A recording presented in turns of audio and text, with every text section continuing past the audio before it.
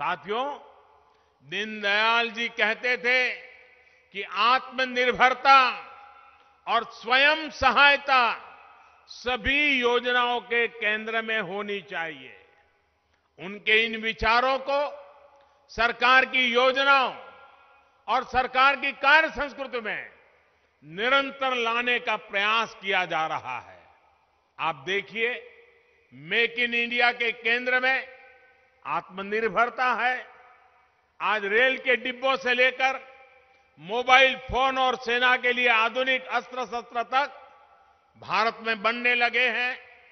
पूर्वांचल सहित पूरे यूपी में भी अनेक नई फैक्ट्रियाँ बीते पाँच वर्ष में लगी है। इसी तरह स्टार्टअप इंडिया के केंद्र में भी आत्मनिर्भरता है। बीते पाँच वर्ष में लगभग छब्बीस हज़ार नए स्टार्टअप रजिस्टर हुए हैं, जिससे भारत के युवाओं ने, भारत के लाखों युवाओं को रोज़गार देने का भी काम किया है। मुद्रा योजना के केंद्र में भी आत्मनिर्भरता और स्वयं सहायता है। इस योजना ने पूरे देश में लगभग साढ़े पाँच करोड़ नए उद्यमी तैयार किए हैं। करीब तीन हज़ार करोड़ रुपए का मुद्रा ऋण वाराणसी के ही लगभग साढ़े छह लाख साथियों को मिला है। प्रधानमंत्री किसान सम्मान निधि के मूल में भी स्वयं सहायता ही है। इसके तहत यूपी के लगभग दो करोड़ किसानों को करीब बारह हज़ार करोड़ रुपए उनके खाते में ट्रांसफ़र किए जा चुके हैं। भाइयों और बहनों, हमारी सरकार समाज की आखिरी पंक्ति में खड़े व्यक्ति तक पहुँचने के लिए, उस तक विकास के लाभ पहुँचाने के लिए लगातार काम कर रही है। आप बताइए, वो 50 करोड़ से अधिक देशवासी, जिनको आज आयुष्मान भारत के तहत पाँच लाख रुपए का मुफ़्त इलाज संभव हुआ है। वो कौन है?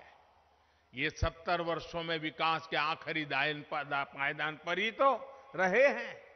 आज देश में लगभग 90 लाख गरीब मरीजों को इलाज मिल चुका है, जिसमें से यूपी के तीन लाख और वाराणसी के करीब सोलह हज़ार हमारे साथी हैं।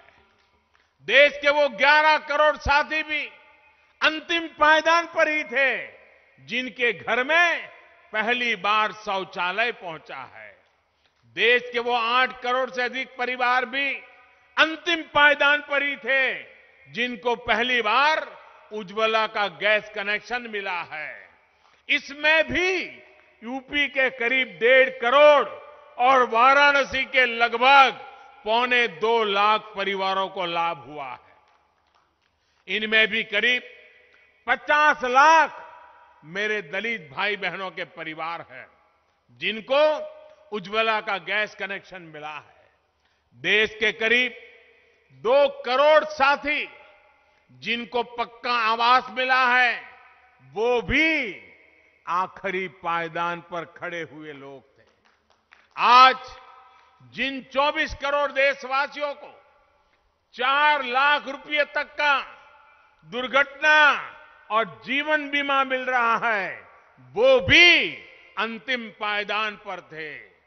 जिन करोड़ों किसानों, श्रमिकों, छोटे व्यापारियों को 60 वर्ष की आयु के बाद तीन हज़ार रुपये की मासिक पेंशन की सुविधा तय हुई है, वो भी विकास के आखिरी पायदान पर रहे हैं। साथियों, आज़ादी के लंबे कालखंड तक इस आखिरी पायदान को बनाए रखा गया, क्योंकि इसकी समस्याओं को सुलझाने में नहीं, उलझाने में ही राजनीतिक हित सिद्ध होते थे। लेकिन अब स्थितियाँ बदल रही है। देश बदल रहा है। जो आखिरी पायदान पर रहा है, उसे अब सर्वोच्च प्राथमिकता दी जा रही है।